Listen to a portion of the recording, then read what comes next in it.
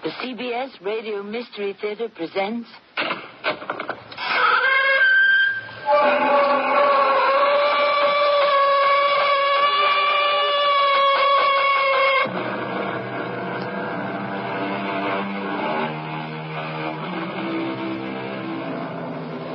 Come in. Welcome. I'm Tammy Grimes. They keep doing it, and for the most part, they're apprehended. Why then do they do it? Since when they're caught, it means either the chair or a life sentence. I'm talking about murder. Hate, jealousy, fear, revenge, money, and variations on those themes are the most popular motives. A gamble, really, in which the slayer values life, including his own, too cheaply. But today, it is not a tale of why or how murder was committed, but how the law and fate closed in on the killer. Andy, why did you attempt to leave town? Because Cornelius told me to. What did he say to you? He said, The heat's on, Andy. You better move on. And I said, Where'll I go? And he said, Here's 500 bucks. Go as far as you can. I said, Why? He said, There's been a death in the family. And you don't want to know anything about it.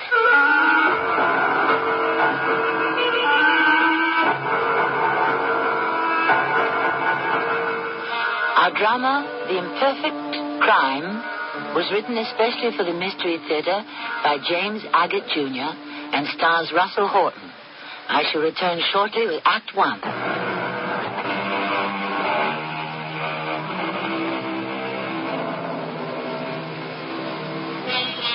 Could be any medium sized town with the Hoosgow houses more drunks than desperados.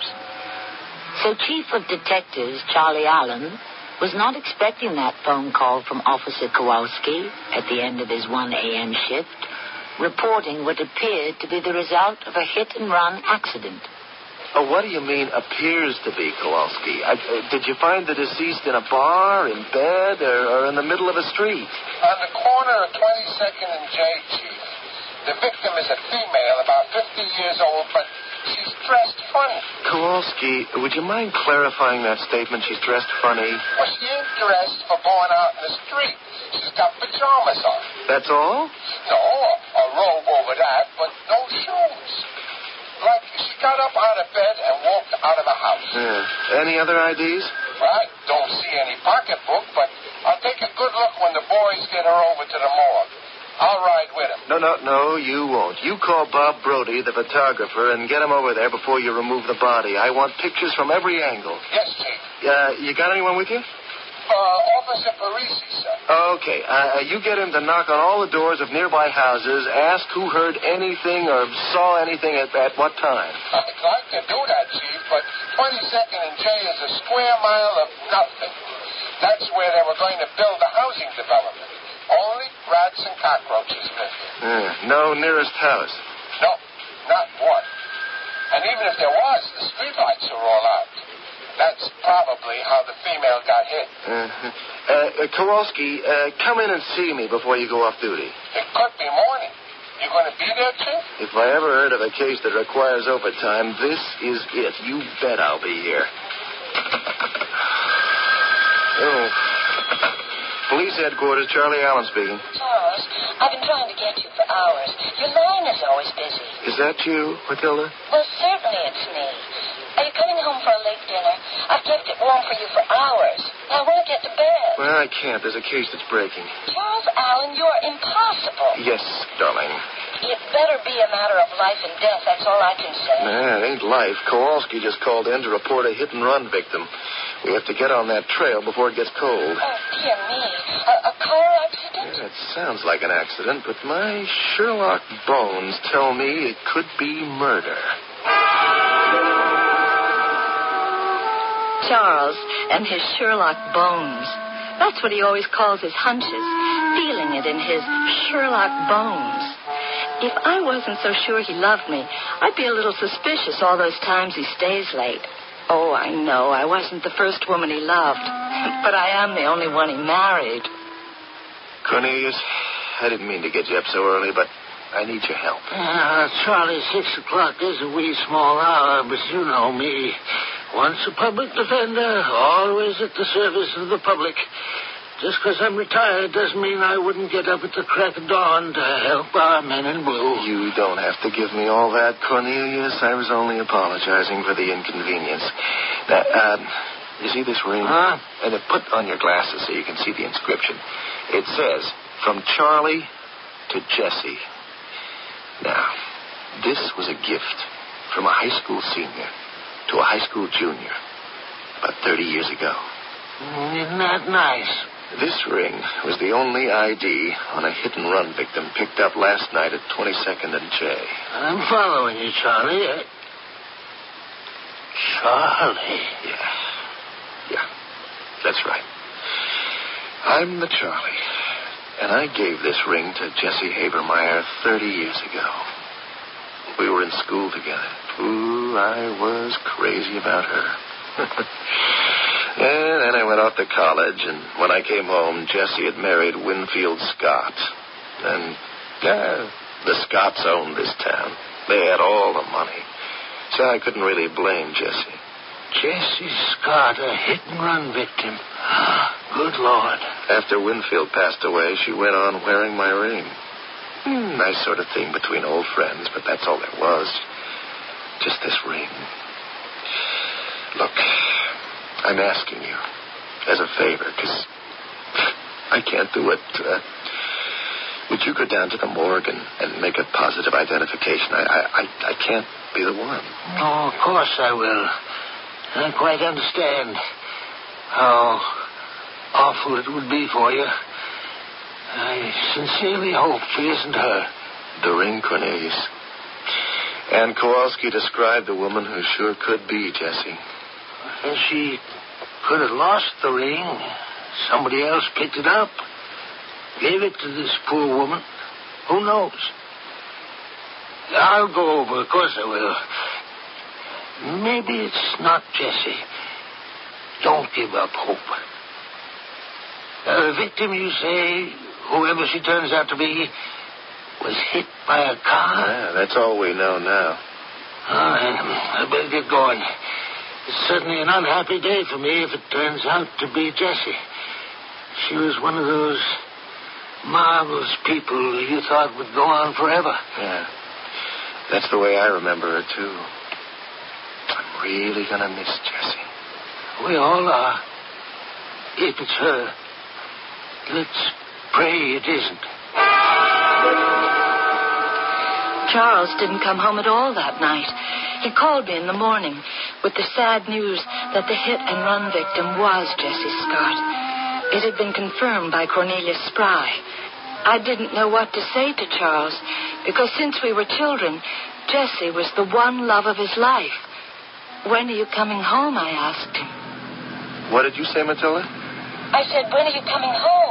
Where are you? Uh, I'm in a squad car, Matilda. Uh, Kowalski's driving me to where they uh, picked her up. Uh, I mean, you know. Of course I know. It must be very difficult for you. Yeah, I- I'll be talking to you. Bye. I could have brought the tire moulages over to you, Chief. No, it's okay. I uh, I wanted to see where it happened for myself. Oh, and I want to thank Jack for working overtime to make them right. And you've been putting in some long hours on this too, Kowalski. It's funny how some cases keep you up right around the clock and you don't even feel it. I guess it's because I knew she was a good friend of yours. You realize this is a promotion for you, Kowalski. No, I didn't, Chief. Eh, not in money, maybe, but I just uh, took you off the street beat and put you in a car. Now, it's a promotion. Yes, sir. You mean I get to keep this? yes, you do. Uh, where are we? Uh, Stanton and Ninth. Hey, what kept you from picking me up? I, I wanted to get out to 22nd and J before the heavy morning traffic. You don't have to worry, Chief. Where we found the body is all cordoned off. A block each way. Detour signs and everything. Good thinking. I figured even though Brody got the pictures, you'd want to examine the place and check the moulages. Yeah, you figured right. Traffic ahead. I better hit the blower. Uh, we'll make better time on Fremont. You were asking me what kept me. I, I was there when Mr. Spry, uh, Cornelius Spry, came into the morgue just about when I was telling the medical examiner about the ring and who you thought it was. So I figured I'd hang around to see what Spry said, you know? Yeah, I know. Uh, he identified Mrs. Scott. With tears in his eyes. When was the time of death, he asks. And the ME says around 10 o'clock last night. And Cornelius Spry asks, did the ME take in the fights last night? And then he says he was there at the arena, and he hopes he still has the stubs in his other suit to prove it. Interesting, huh? Hmm. That is. Why would he think someone might ask him where he was? I figured maybe you were going to put him on the carpet. Well, it hadn't occurred to me, but maybe I will. I wouldn't want to disappoint him. Uh, right here. Uh, Jack, I got the chief here. You got those moulages of the tire tracks? Right here. Good morning, chief. Boy, as clean a pair of tracks as you could ever get. Went back and forth twice, like they wanted to make sure of something. Uh, take a look at these, Kowalski. We sure ought to be able to find the car that made them.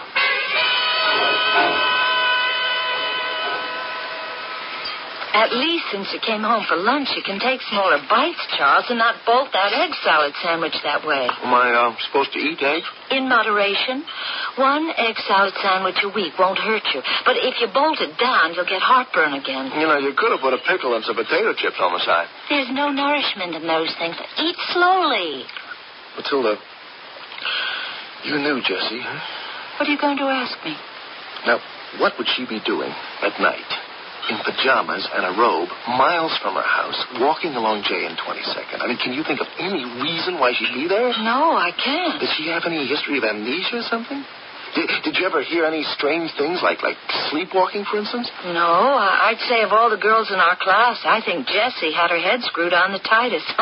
she knew what she was doing. Matilda, you know, she was wearing a ring I gave her when we were in school together. Had it on her finger when she was run over. I'm sorry, Charles. No, I- I'm truly sorry. The problem is, I don't believe it was an accident. But if it was murder, why? Money? Hmm? Money? No one really knows how much money she had, except maybe Ken Bradley at the bank. But I bet you there's not one person in town who doesn't believe Winfield Scott left her a packet. Hmm, I hadn't thought of that. Well, think of it then. She was a wealthy woman. That's the way to go. A. Assume she was not the victim of a hit and run, and B. Whoever did it was after money. I could have told you that. Charles, Charles, where are you going? Back to the station house. He's like a bulldog once he gets started on a case. It's hard to keep him sleeping and eating right, so I always try to help him without his knowing it. Ken Bradley, president of the National Bank's an old friend. Well, I called him to ask if Jessie Scott had drawn out any big sums recently or written any large checks. And if so, to whom? Ken would tell me on the QT. And then all I had to do was make Charles believe it was his idea to follow that lead.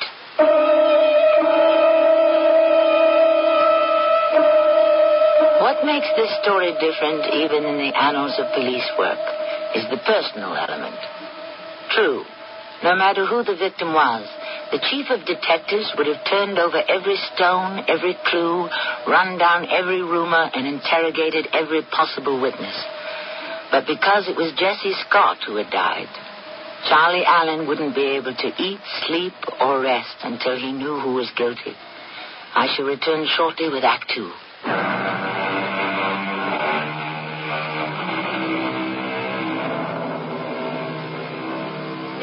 In the law versus the lawless, the division is sharp. The hunter versus the hunted. As our curtain rises on Act Two, we have met the hunter, Chief of Detectives Charlie Allen. Who he hunts will depend upon what he finds and how he interprets his findings. Within 18 hours of the reported crime, Charlie and Officer Kowalski stand in front of a certain house on a tree-lined street in the better part of town. Is it this where she lived, Chief? Uh, I used to park right where you're standing, Kowalski. I'd go and ring the doorbell of her house, drop in, have a cup of coffee. We'd talk about the old days. Sometimes I'd pull right up into this driveway. Well, let's get the garage door. Sure. I, I got the light. Hey, the place is empty. Yeah, well, Jessie uh, didn't own a car. She didn't drive. Somebody did. Well, tire cracks. Uh, Kowalski, you got those tire moulages with you? Yeah, they're in the radio car. Uh, get them, will you? what are you thinking? Just a little feeling I got in my Sherlock bones. Why do you suspect? Suspect? All I do is observe. What are tire tracks doing in Jessie's garage? Go on, Kowalski. Get the moulages and bring them here. Be right back, Chief. They don't look so different, do they? See that little bulge made by the right front tire? Looks a lot like what we've got from 22nd and J. They're identical, Chief. What do you think it means? Murder. First degree murder. How do you figure that? Someone brought a car into this garage and got Jessie into it, alive or dead. But she was particular about keeping the garage locked. So it must have been someone she knew who asked her to have it open that night. They pull out, find a dark stretch on J and 22nd. Yeah, none of the street lights was working. Perfect place to dump her out and maybe run her over to make it look like a hit and run. Yeah. Yeah, that could be. Kowalski, I want you to run a rope around the garage and the house. And I want two shifts on guard. Nobody is allowed in. Yes, Chief. Get Murdoch on the blower. Tell him to bring his equipment over here. I want a complete dusting of the garage for anything that shouldn't be here. Fingerprints, strands of hair, match, uh, cigarette. Uh, tell him Jessie didn't smoke. He'll know what to do. And if we haven't been stupid enough to smudge the fingerprints on the overhead door handle, who knows? Then, when he's through in here, the same routine in the house. You think she was murdered here? Yeah, we'll find out. Right up. Okay, I'll get him. Shall I use the car radio? Uh, no, there's a phone over there on the wall. Pick it up with your handkerchief. Hey, hey, it rang. That's spooky, ain't it? Someone dialed Jessie, and the garage extension's on the same line. You gonna pick it up?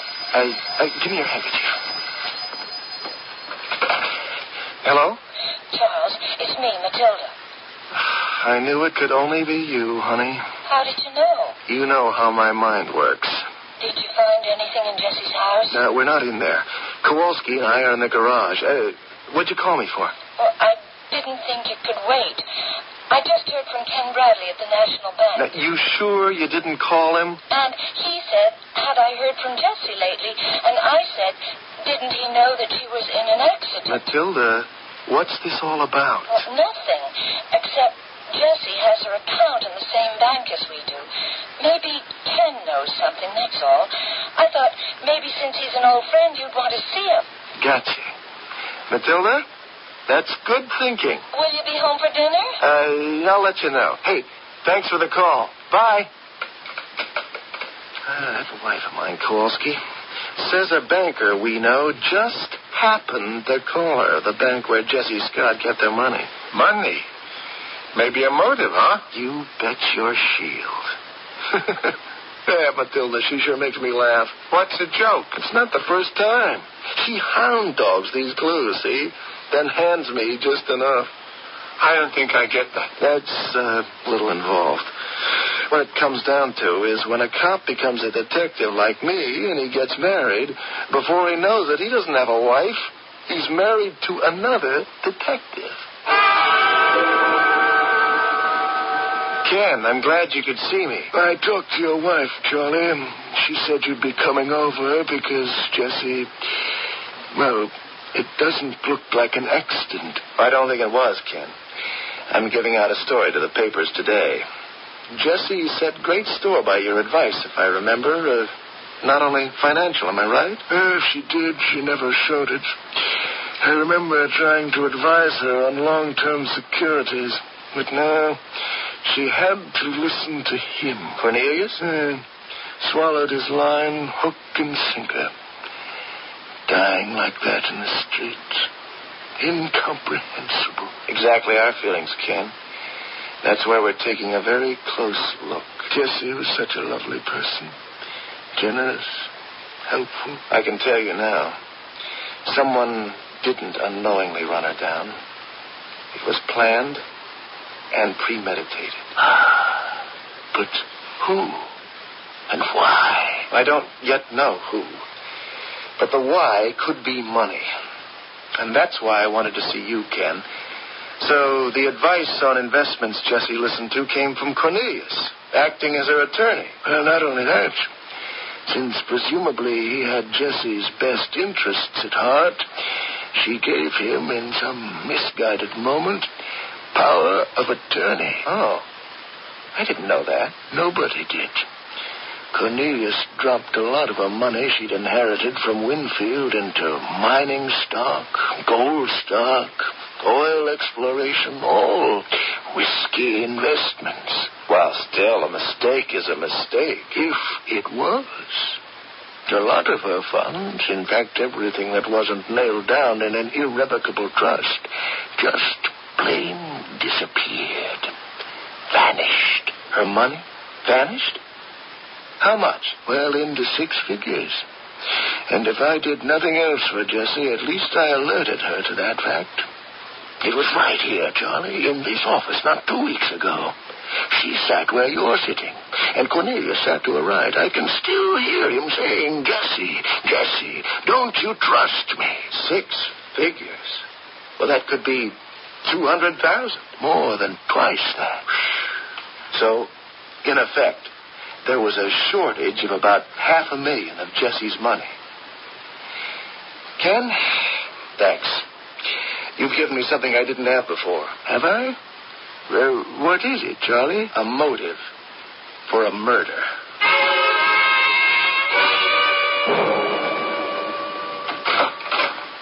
Well, come in, Kowalski. What's the story? I don't know how much of this is useful. I don't think Cornelius Spry is doing as well as he likes to make out, money wise. You know, he's got a chauffeur who drives him around. Andy Moran. Yeah, I know all about him. Moran served two years for robbery, and Cornelius Spry got him out with a personal pitch to the parole board.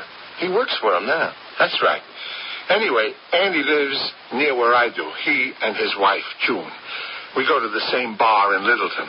Well, he and I got to drinking, and maybe he said more than he wanted to. He said that until a few days ago, he hadn't been getting paid. Well, what happened a few days ago? Suddenly, his boss paid up everything he owes him. Uh-huh. Uh, what kind of car does he chauffeur? I thought of that right away. Struck a wall. That's what I meant when I said I don't know how useful this will be. I thought, who knows, maybe I'll go around to Spry's garage and check the tires, right? Mm-hmm. He's got no car. It's been in the shop for three weeks now. Mm, that's what Moran told you. Yeah, yeah. So he says, I guess I really can't complain, seeing as how I haven't been doing much chauffeuring for him. Uh, uh, try to remember, Kowalski. Did Andy Moran say he hadn't been doing much or hadn't been doing any driving? I'm not sure. Bring him in. I think you've got something. He said he might go fishing one of these days. Didn't say where. But you're going to find out where, like all good detectives, aren't you, Kowalski?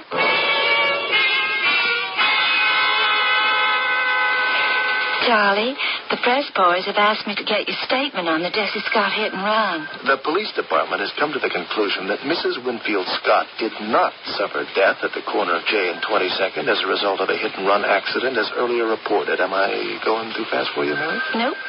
We now have definite proof Mrs. Scott died as the result of premeditated murder at the hands of. Mm-hmm.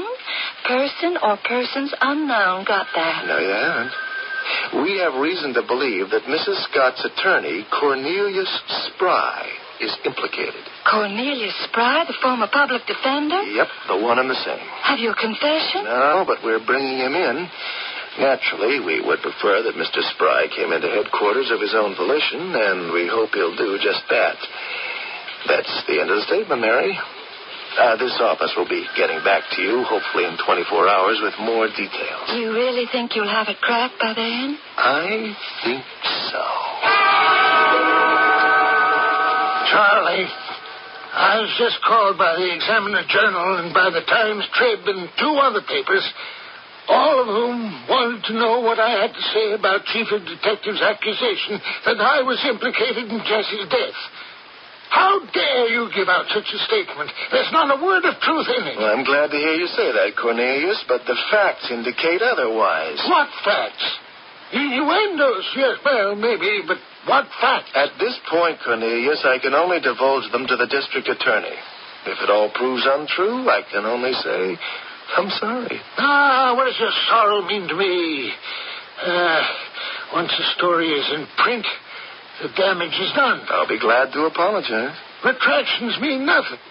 I'll see you in court. Oh, yes, you will. But before I go, I might inform you that everything you were told by Ken Bradley at the bank is without foundation. If you think it was to my advantage to have my best client dead because I stood to gain money or was in debt or made injudicious investment decisions on behalf of my client, you'll have a hard time proving it. We'll see. Charlie, you must know by now you can't build a case on hearsay or indirect collateral or secondary information.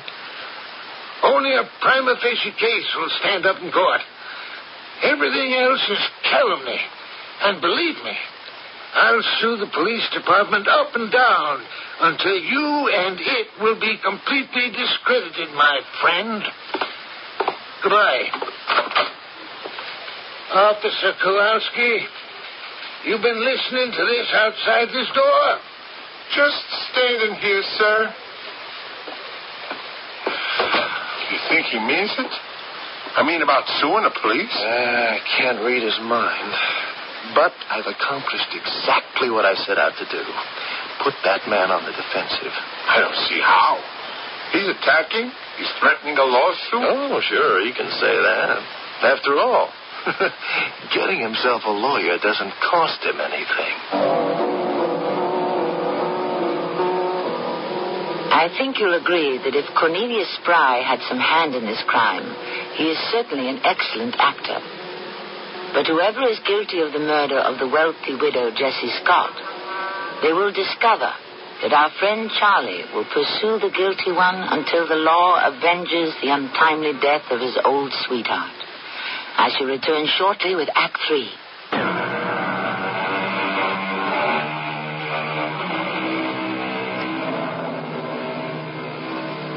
Conan Doyle, master mystery storyteller, once said, Detection is, or ought to be, an exact science and should be treated in the same cold and unemotional manner.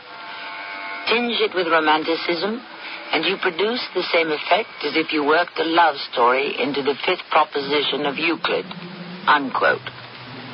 Whether Chief of Detective Allen's love for the deceased Jessie Scott will help or hinder him, we shall soon discover. Chief, he's gone. I went to pick Andy up, and he's gone. Fishing? Nope, just gone. Nobody knows where he went. So, Andy Moran didn't go fishing. No, sir. The bartender told me he saw him two nights ago, but when I went around to where he lives, no answer. Then I went over and rang the service bell at Cornelius Spry's place. And a new man comes out and says he's the chauffeur. Where's Andy Moran, I ask? He don't know any Andy Moran. That is good news. What? All good news. How can you say that? Kowalski, send out an all points bulletin. Moran did time, so mugshots must be on file. Our former public defender got the wind up, went home, and told Andy to run for the hills. So now we can assume they're both in on it. If we knew what they were in on. Hmm, we'll find out. Put out the APB.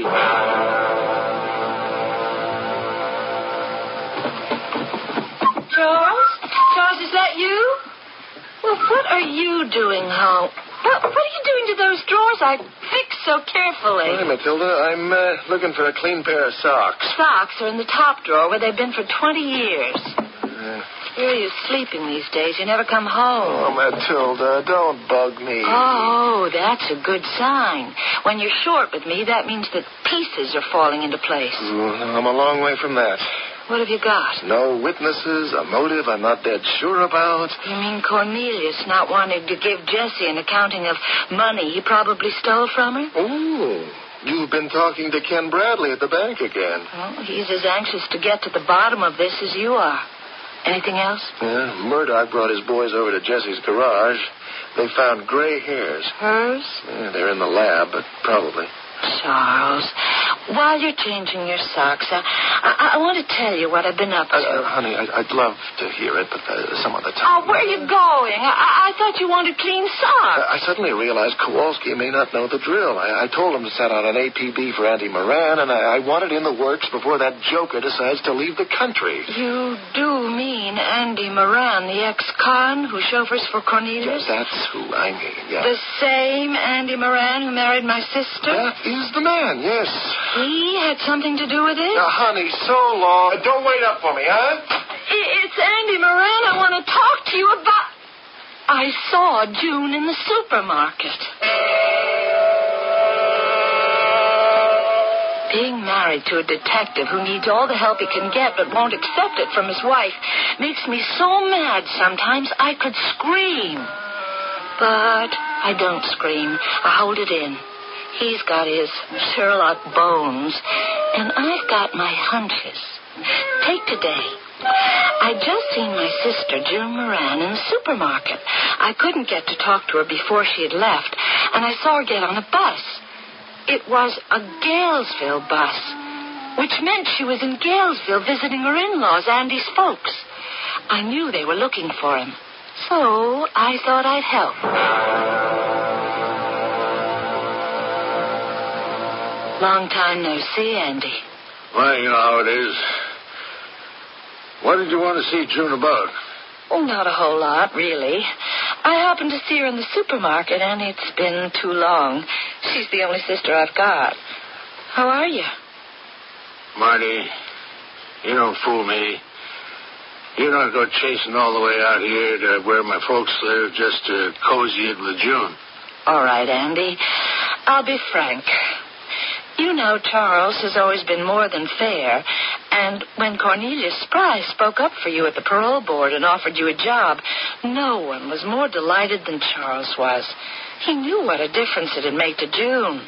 What's up? Oh, I'd rather talk it over with June. Uh, look, Matty, if I were you, I'd go downstairs and take the bus back to town and don't worry about your sister. I'm taking good care of her. Real good. Andy, you haven't gotten into trouble again, have you? It's none of your business. I'd hoped you'd gone straight. Does Cornelius know what you've been up to? Everything is all right. I uh, just remembered I have to take a pill. Where are you going? Just to the bathroom. Andy, if something's wrong, why don't you just come clean? At least for June's sake. Why don't you stop interfering, Matty? I wish you hadn't come here. I really do. Andy, I can't talk to you if you keep dodging behind my back. What is it with you? Of course I had to come here. Charles is sending out an APB for you. Andy, Andy, don't. Andy, Sorry to do this to your sister-in-law, but I need the time to get away. She'll be awake in a couple of hours.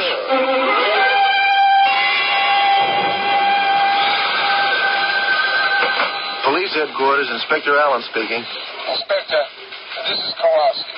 I located a car that made those tracks. It belongs to Lieutenant Norris of the 4th Precinct. What? Uh, a, a police lieutenant? Right, right. His car made those tire tracks. He told me he loaned the car to Andy Moran, who needed a car because Mr. Spry's was in his shop. Remember I told you? Uh, wh- uh, where's the car now? Lieutenant's got it back. Will you get Murdoch over there fast to give the car his microscopic eye? And, and tell him to call me when he's finished. Yes, sir.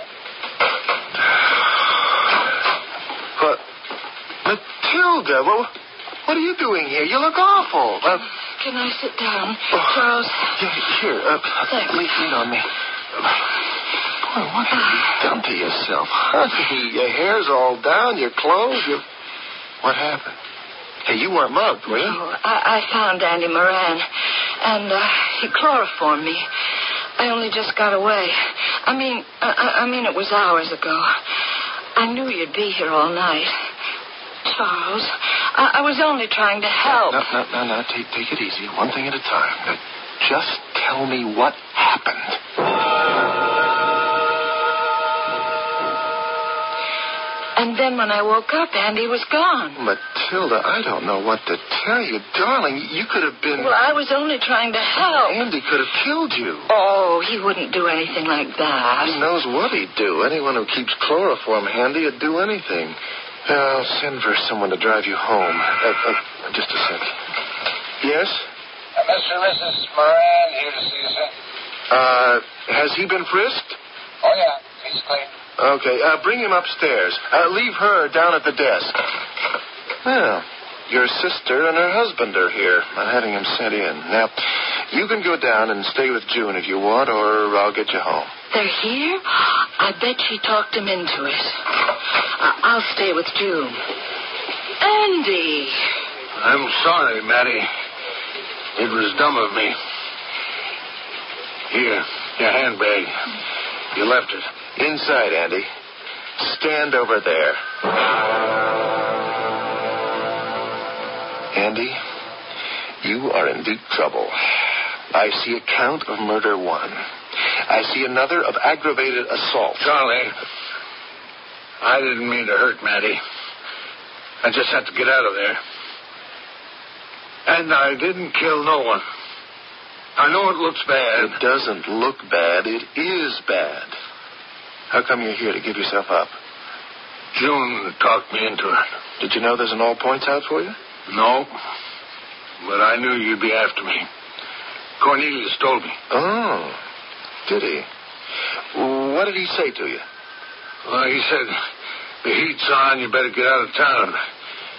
He gave me 500 bucks and told me to go as far as I can. Then what did you do? I went out to Galesville to my folks, persuaded them to take a trip, and then tried to figure out where we'd go.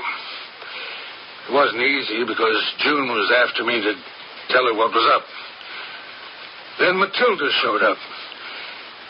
The only way I could see to get away was to give her something to sleep. I met June and hustled her out to the bus depot. And she wouldn't get on a bus until I told her the whole story of how Cornelius Spry had killed Jessie Scott because he was in such deep water over money he'd taken. But I had nothing to do with the killing. Charlie, I swear it. I just borrowed a car and drove it to where he told me. And then I beat it. But, Andy, didn't you know a murder had been committed? Ah, I. I read about it the next day. Well, why didn't you come to see me then? He swore if I said one word, he'd make sure I'd be in the clink forever. My word against his.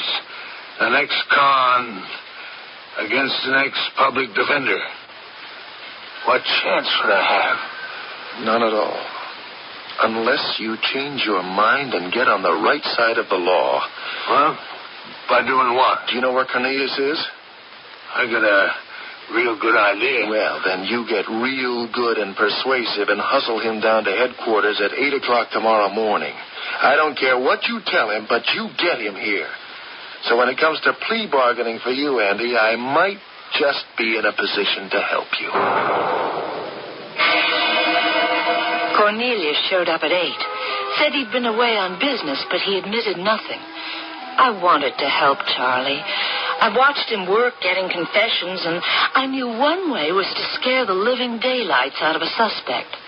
So I put on the bathrobe Jessie was murdered in and waited for the right moment to play the ghost of Jessie. Poor Charlie. He was really batting zero. You didn't ask Andy to find you a car? I did not. You didn't instruct him to drive it to Jessie's garage the night she was murdered? I did not. I was nowhere near You there. didn't go to Jessie's house that evening and strangle her? I did not. And then bring her body down to the car in the garage? No, I did no Then drive the body to the corner of 22nd and J, dump it, and make it appear she'd been hit by an unknown driver? I was at the arena that night. You say. You have not delivered one witness who saw you there. Charlie, I know that Jessie is missing and has been for over two weeks. I admit I did go to the morgue and identify a woman I thought looked like Jessie, but I was wrong. It wasn't her. I suggest to you that Jessie is somewhere alive. Perhaps she's lost her memory. And the ring I gave her on her finger? Perhaps stolen. Perhaps found by someone. Uh, now, would you turn this light out that's facing me? I, it's really blinding. I'm sitting here and I can't see you really. I just know it's your voice across the table. We keep the room dark Oh, with the light on you so we can watch your face. what? Who, who's that coming? Who is it? Hello, Cornelius. Charlie. Charlie, she's she's here. I trusted you, Cornelius. Why did you have to do it? Ah, I I don't feel well. What's the matter with you, Cornelius? What is it? Where, where's the door? I can't see the door. You will never run away from me, Cornelius. I'll always be there. Hey, get, her- get her out of here. Get, her away from me. I, I, I, I did it. I did it. Yes, I did it. Charlie, Charlie, please save me. Don't you see her? It's Jessie. Huh. He's fainted. Matilda, I gotta hand it to you. What did I tell you? He's the one man I thought would never believe in ghosts. Kowalski, come on in and pick up the accused. I think he'll give us a confession when he comes to. Charlie is taking my help a little more seriously these days. Of course, my coming in wearing one of Jessie's dresses and an identical gray wig could only have worked because Charles had pretty much worn him down. And you know what? They're making me an honorary member of the force. So you better watch your step. Officer Matilda may be assigned to your case.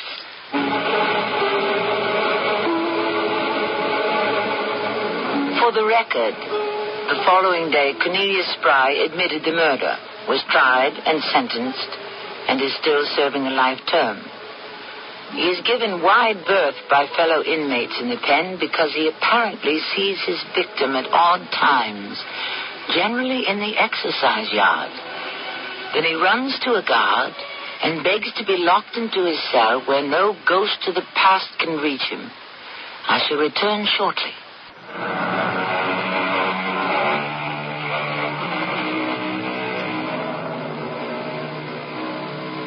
Vidocq, the world's first great detective, has said, those who believe they can commit a crime so perfect it will not be discovered must first of all reckon with the accuser, judge, and jury within themselves, their conscience. For sooner or later, conscience will arrest the criminal. There are very few perfect crimes because man himself is imperfect. Our cast included Russell Horton, Carol Teitel, and Robert Dryden. The entire production was under the direction of Himan Brown. Radio Mystery Theater was sponsored in part by White Westinghouse Appliance Company. This is Tammy Grimes, inviting you to return to our Mystery Theater for another adventure in the macabre. Until next time.